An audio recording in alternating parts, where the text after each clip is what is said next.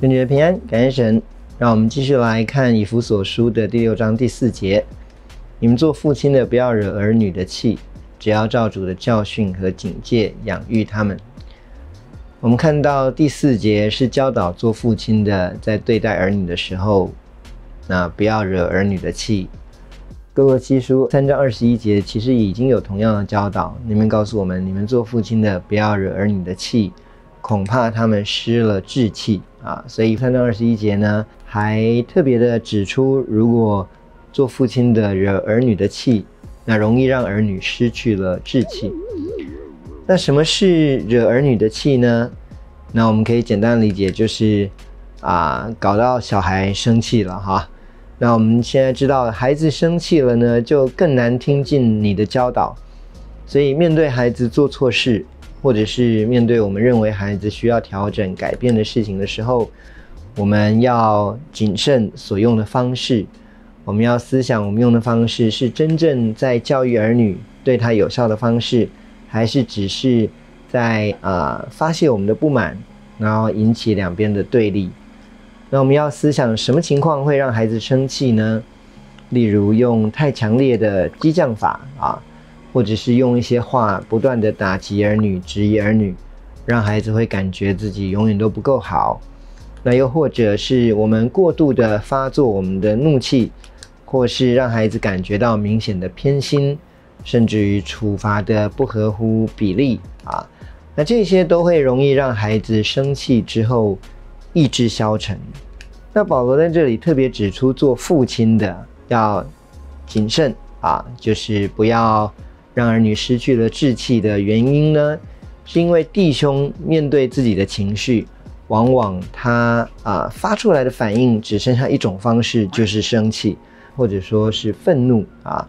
所以圣经告诉我们啊，愿弟兄无愤怒，举起圣洁的手，随处祷告。那你会发现，这个弟兄呢，难过的时候也生气，沮丧的时候也生气，失败的时候也生气。面对跟别人意见不同、沟通不良的时候也生气啊！男人常常所有的情绪呢，到后来只剩下一种表达方式，就是生气。所以弟兄要特别谨慎自己里面的愤怒，要学习有效的沟通。那圣灵在这里给我们清楚的教导，就是对待儿女要照主的教训和警戒。那教训的原文字义是教导、训练、指引；那警戒的原文字义是警告、告诫、规劝。也就是告诉我们，我们教导儿女不是按着自己对儿女的期待，而是要照神所教导的真理来教导、训练、告诫、规劝。我们要用这些的方式来教育儿女。有一个重点，叫做培养他们的性格啊。因为养育它的原文不单是提供身体上的需要，也包含性格上的塑造。那么父亲对待儿女。确实是需要有权柄，能够告诫规劝的，并且也要有智慧，能够教导训练。但是我们却要啊提醒自己，要学习如同我们在天上的父。我们在天上的父，圣经告诉我们，他是不轻易发怒的，是有恩慈、有怜悯的。我们也要学习不轻易发怒。怒气发多了呢，很容易就变成惹儿女的气。我们要晓得，要让爱。成为权柄的来源啊，我们期待能够有多少的权柄，我们就需要付上多少爱的代价。那我们也会看见，在呃现在的世代哈，确实父亲要有权柄呢，好像比以前要更加的不容易。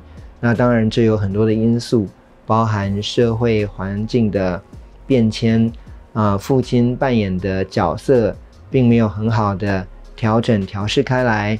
然后还加上，确实我们看到现在有很多家庭的悲剧，它的一个源头确实是做父亲的、做丈夫的，他没有好好的去承担他的这个责任，以至于整个家庭就产生了很大的困难跟伤害。所以我们看到了现在这个环境，我们就需要理解。那么在现在，父亲要拾起、要拿起教育儿女的权柄。确实是需要付上比过去更大的代价。我们如果能够有这样的认识，就是我们一定要让儿女从我们的身上得着帮助，我们期待我们每一个做父亲的都能够成为儿女生命的祝福，甚至于让儿女感觉到我们是他的骄傲。那我们对于自己是怎么样子在生活，怎么样经营我们的人生，怎么样子来经营跟妻子之间的关系，怎么样面对我们生活当中的每一个面向，那我们就可以有更好的动力，让我们能够不断的改变更新。那么现在的世代虽然不容易，但是如果我们愿意付上代价，那我们还是可以看见有与这世界上的潮流截然不同的情况。还是会发生在，呃，愿意跟随主、爱神、遵行主道的弟兄的生命当中。那求神帮助我们，让我们一起来认识、来学习，怎么样子在现在这个社会当中，能够把我们的儿女引导、带领、教导、劝诫他，成为神所能够使用的。祝大家有美好一天，让我们啊每一天。来为我们的儿女来祷告，也求神帮助我们，让我们自己能够成为更好的父亲，成为更好的母亲。祝福大家。